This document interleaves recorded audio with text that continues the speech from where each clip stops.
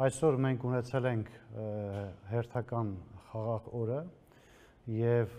ամբողջ օրվա ընթացքում որևէ հետակոծություն չի եղել մեր բնակավայրերի ուղությամբ մեր բնակիչները հնարավորություն են ունեցել վերական վերադառնալու իրենց առօրյա աշխատանքին դա հնարավորություն է տվել նաև 3 ամբողջ օրվա ընթացքում թեկուս որոշակի ռիսկի ռիսկային իրավիճակում իրականացված վերականգնողական աշխատանքները, հատկապես յենթակառուցվածքների վերականգնումը, որովհետև 3 օրվա վերջում մենք ըստ էության ավարտել ենք բոլոր յենթակառուցվածքային վերանորոգումները, այդ թվում ջրագծերի վերականգնումները, ռոռոկման համակարգերի վերականգնումները, որը հնարավորություն է տվել, որպեսզի այսօր մարդիկ վերադառնան իրենց աշխատանքին եւ եւ գյուղատնտեսության կիսատ մնացած գործերը հասցնեն միջև վերջ։ Ես կարծում եմ, որ իսկապես մենք այսօր ունեցել ենք բուրոն աշխատանքային օր մեր գյուղերում եւ տպավորությունն է այդպիսին եւ բոլոր պայմանները կային դա իրականացնելու համար։ Զուգահեռ իրականացվել են հետևանքների հետևանքների գույքագրման աշխատանքները։ Մենք այսօր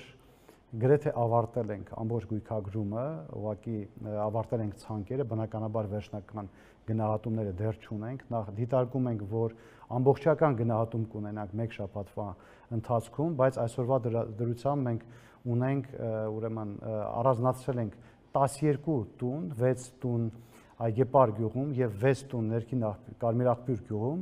որոնք պատրա որտեղ մենք կարող ենք արդեն սկսել վերականգնողական աշխատանքները։ Վերականգնողական աշխատանքները սկսվել են դեռևս 3 ենթակառուցվածքային համակարգերի մասին ես արդեն ասացի, բայց 3 արդեն երկու բնակարաններում զուգահեռ սկսել ենք վերականգնողական աշխատանքներ։ Վաղը այդ աշխատանքները ավելի կակտիվանան եւ ամեն օր այդպես լրացուցիչ ավելի երկուշաբթի մենք կունենանք երկրորդ խմբականակը, որտեղ եւս շինարարները արդեն կմտնեն աշխատելու։ Եկող շաբաթվա վերջին մենք ըստ էության կունենանք առաջին լիարժեք վերականգնված բնակարանները կամ տները։ Այսօրվա գույքագրման առանձնահատկություններից մեկը այն էր, որ մենք հայտնաբերեցինք մի շարք ավերածություններ, որոնք եղել են ոչ թե վերջին օրերի վերջին օրերի հրետակոծությունների արդյունքում, այլ եղել են նախկին հրետակոծությունների արդյունքում, այդ թվում 90-ական թվականներից սկսած, եւ այդ դեպքերը եւս ներառել ենք մեր գույքագրման ցանկերում եւ այդ դեպքերը եւս կվերածվեն այս շինարարական աշխատանքների ընթացքում։ Մենք ըստ էության որևէ խնդիր չունենք այդ աշխատանքները շատ մեծ տեմպով շարունակելու համար, ինչպես նախկինում նշել եմ, այդ աշխատանքները իրականացվում են տեղի շինարարական կազմակերպությունների եւ շինարարների կողմից, որտեղ ներգրաված են նաեւ մեր այն հայրենակիցները, ովքեր համավարակով պայմանավորված չեն կարողանացել մեկնել արտագնա աշխատանքի եւ այնտեղ իրենք զբաղված էին շինարարական աշխատանքներով։ Սա չի նշանակում, որ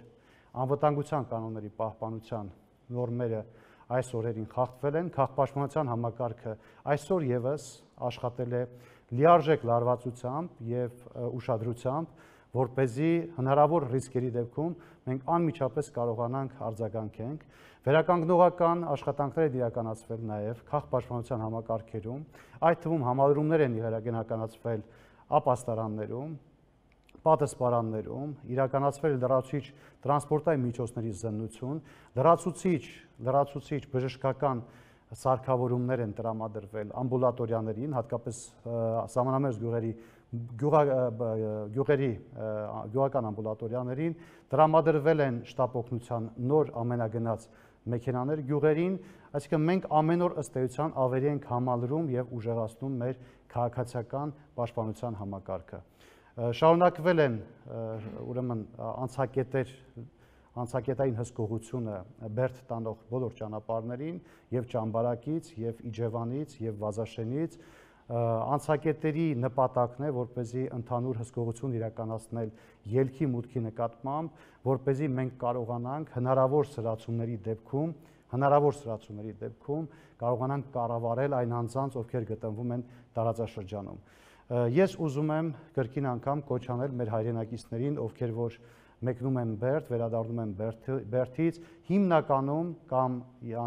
հնարավորության դեպքում, եթե եթե այլ հնարավորություն, այլ խիստ պահանջ չկա,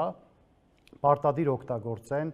Իջևան, Գանձակար, Իցակահար բերդ ճանապարհը, որովհետև դա համարվում է ամենաանվտանգ երթուղին։ Այլ պարագաներում իրավիճակի սրման դեպքում կարող են լինել որոշակի խնդիրներ։ Ըստ էության այսքանը ես կարող եմ ուղակի ավելացնել նաև, որ այսօր մենք բավականին ինտենսիվ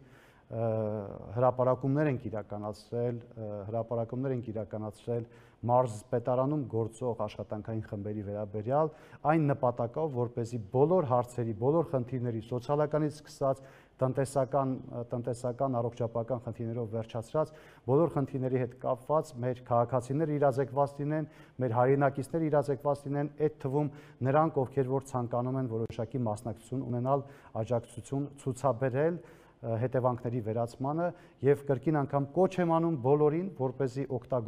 օգտագործեն մարզպետարանի հարթակը մեր կայքում, մեր Facebook-յան էջում, իմ անձնա իմ պաշտոնական Facebook-յան էջում հրապարակված են բոլոր կոնտակտները, բոլոր անձանց տվյալները, ովքեր պատասխանատու են տարբեր ուղություններով եւ ես կոչ եմ անում, որ เป զի միայն ու միայն օգտագործվի պաշտոնական հարթակը, եթե կան որևէ հարցեր, խնդիրներ, առավել եւս եթե մենք ունենք բնակիչներ,